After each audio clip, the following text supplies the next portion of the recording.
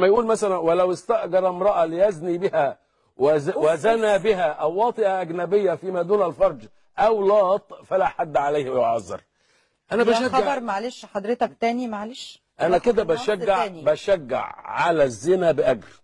اللي هو أساسا عشان مباحث بس مش عايزين حد يقول إن في اقتطاع من النص. مباحث أهو حضرتك اقريها أنت. لا لا لا حضرتك ولو. استأجر أهو شوفي يمكن هتشوفيها من هنا. ولو استأجر امرأة ليزني بها وزنى بها أو وطئ أجنبية فيما دون الفرج أو لاط فلا حد عليه ويعذر.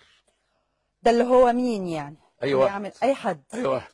معلش ده ثالثه ثانوي حضرتك بتقولي؟ أيوه. ثالثه ثانوي أزهري ده المقرر بتاعه؟ نعم. ده المقرر بتاع مقرر آه؟ مقرر ثالثه ثانوي أهو. سيادتك مكتوب للصف الثالث بالأحمر أهي. آه. للصف الثالث الثانوي. طب ده كلام. عبد الله المتوفى سنة 632 ده؟ لا ده ده 683 683 آه اللي فات ده كان من القرن 700 سنة. من 700 سنة آه.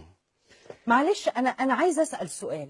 و هو مين اللي يرضى إن الكلام ده يتدرس لولاده؟ لسه ده بيبرروه كمان إزاي ده بقى بيتبرر؟ بيتبرر. بص شوف لما روي أن امرأة استسقت راعيا لبنا يعني واحدة قالت لراجل راعي اديني لبن من الشاة أو فأبى أن يسقيها حتى تمكنه من نفسها ففعلت.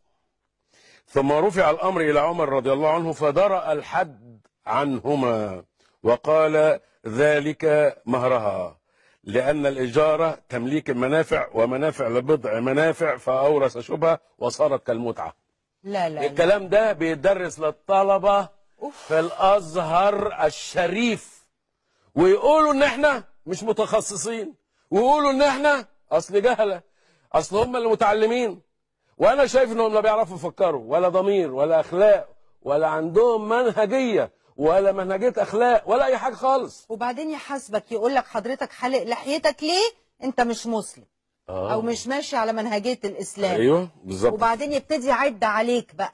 ويحول الدين لإن إحنا إيه عندنا حسنات بالعدد أكن إحنا داخلين في عملية حسابية مع ربنا.